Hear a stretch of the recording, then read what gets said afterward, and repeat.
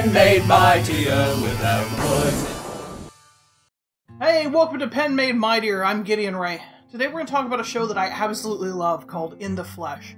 It's a UK drama about um, people who come back from the dead as zombies and they start wreaking havoc on everything. But where the show actually picks up, they have developed a drug that can put people back in their right state of mind. The story central focus is all around characters that return home and have to deal with the fact and the trauma of being undead. And, well, for some people it's harder than others. It's a really fantastic show, whether you like zombies or not. If you love zombies, you should really watch it. If you just want to see some really good interpersonal drama, you should still watch it. It's a fantastic show, and I think that's because, like most zombie media, and particularly in the flesh, it plays to a lot of really powerful themes that are always congruent with where we are in society. Of course, as with most zombie shows, the primary theme is loss, because they really want to make you feel it when a character has passed, but more importantly in this one, how they feel when a character comes back, and how they feel about the fact that characters are coming back. It's remarkable. And I'm telling you, there is nothing sadder or more endearing than seeing an aging man hugging his wife and realizing that a week ago she was probably chewing on someone's face. They do a fantastic job of making you still feel like these people aren't 100% back because they have to wear makeup on their faces to look normal and contacts so their eyes look decent. Not great, but decent. But you can always tell them when you see them. It's really fantastic in that way, and amazing to see how pained some people are when their loved ones return. The main character, as a matter of fact, uh, you know what? Uh, spoilers, because you should watch this. Um, I'll put an annotation to where you can skip so you can get over this major spoiler.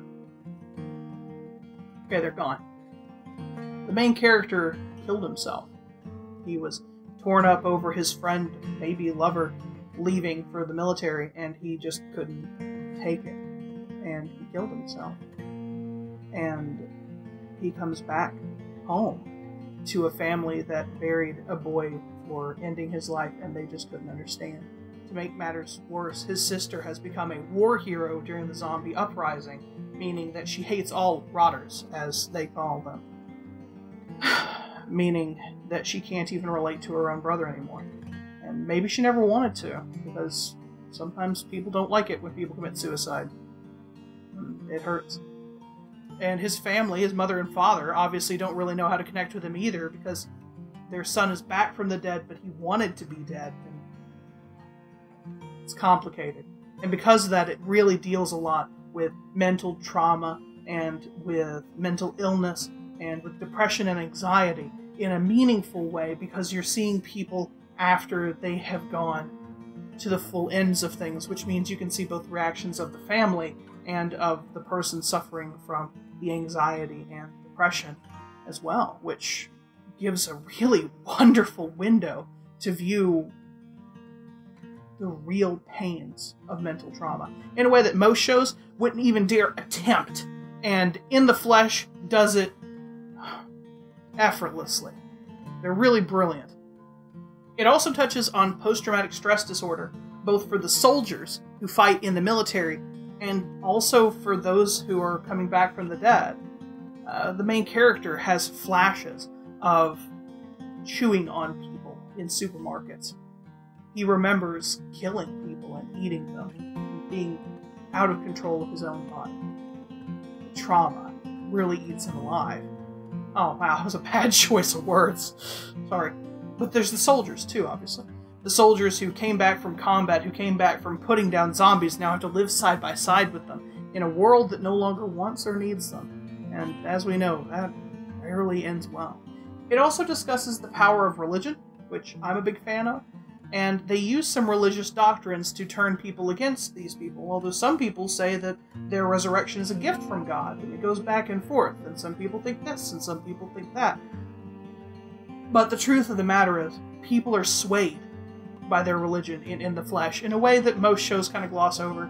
I'd like to see more superhero shows deal with this because I've always wondered how followers of God would come to peace with the, the fact that suddenly people uh, can fire ice out of their nostrils.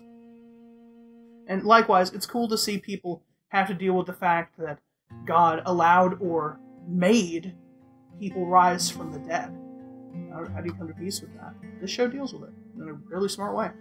As I said about the soldiers, it really deals a lot with turning swords to plowshares in them giving up their guns and having to reintegrate into society and how much trouble that can be. And it's nice to see uh, it's nice to see anything deal with it really because I can't think of many people that even try. I mean, I think, guess like technically movies like Rambo are about stuff like that, but you don't see it very often, and you rarely see it done as well as I think In the Flesh manages to pull it off. It even manages to touch on addiction, and the fact that several characters begin to start abusing some illegal substances later on that allows them to retake their zombified essence and attack people for thrills or for power. Um, or maybe just to feel different. In that way, uh, yeah, it deals with it in a really powerful and interesting way. Um, it's nice to see addiction talked about in more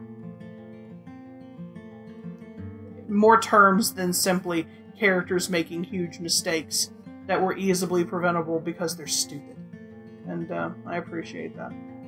The best thing about zombie stories in general, in the flesh, Walking Dead, 28 days later, any zombie story, the zombies can be anything. That's what makes it so cool. If you've got a group and you hate them and you don't want them destroying your country, you can make them an analog for the zombies, or vice versa. I guess the zombies are analogs of them.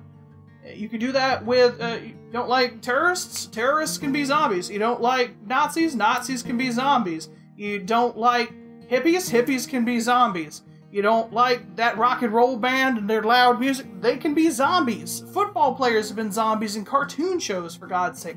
We're talking about any group that is in any way that you would consider beneath you, ravenous, and destructive, you could say zombies. Look at them. So much so that people today even refer to kids on their cell phones as like cell phone zombies or Facebook zombies. I hear that term a lot.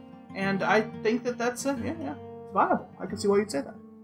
Personally, I think that In the Flesh is about um, the dangers of untreated mental illness and the dangers of giving into religion.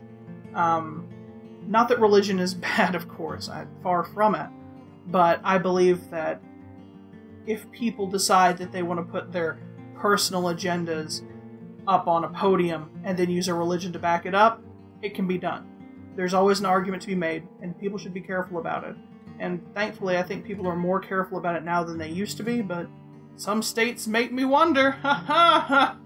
Uh, so, that being said, I really think the show struck a real good chord with me there. But I know many people who would read the show very differently. I think that's why it's universal. Beyond that, they also do a really fantastic story in a second, where people are at the graveyard. And the graveyard that they go to now isn't the main graveyard. The primary graveyard where everybody was buried before the rising with the granite headstones we all know and love is abandoned. It's like unclean ground that nobody goes to. So the graveyard where they bury people now is in town, centralized, local, easily protected and defended. And they just put people in a box, put them below ground, I still say they should have burned them, but maybe the show could pull it off in their budget. And then they drive a white cross into the ground in front of them. It's simple. And it's simple because they need it to be. Because they were burying so many people during the zombie uprising, they couldn't afford elaborate funerals like the ones we have today. It was really good. And as people are leaving, you can see in the background behind the crowd as they pass through the gates a pile of these pre made white crosses, showing you in that one moment that they were ready for hundreds of deaths, that it was expected, and they wanted to be ready for it before it happened because it was just going to happen. So, brilliant. brilliant bit of world building without even trying. Do think they should have burned him though. But you know what? Even though, uh, even though I say that, I guess it could be a thing where it's sort of about the religion thing, because some people think that the rising was a good thing, and they think it was about a gift from God, and they think it's going to happen again. So uh, I don't know. Maybe that's, uh, yeah. I never really thought about that. That's true. So, where should we start seeing this kind of vague storytelling used? These universal themes that can be applied to anybody? It's, uh, not easy to pin down because you need so many universal themes that can easily be applied like a fresh coat of paint over anything and everything. We could start seeing this in a lot of science fiction shows with things like androids and cybernetics, and I think that that would be really fantastic to see that there's a stigma against these things, possibly because of an AI malfunction. I guess they kind of tried that a bit in Almost Human, but I don't feel like they exactly succeeded on how much they could have pushed that. And I think it probably would have saved that show and given it a second season because once things become more universal and everybody can relate to it a bit better, it becomes a lot easier to sell a story like this.